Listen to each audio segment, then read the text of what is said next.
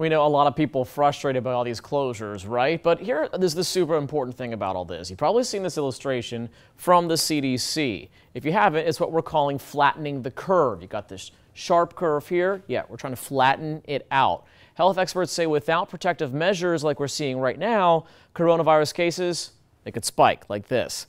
The reason is it's important because this graph shows how the infections spread.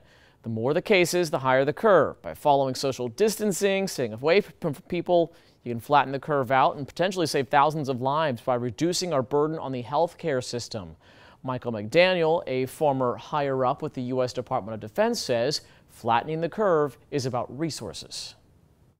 Uh, we'll have enough uh, hospital beds, we'll have enough ventilators, we'll have enough respirators. And Hillsborough County's health department director told city and county leaders this. Essentially what we're trying to do is take the fuel away from the fire. Uh, if COVID-19 is already present in the community and you have a large event, it just ex can explode.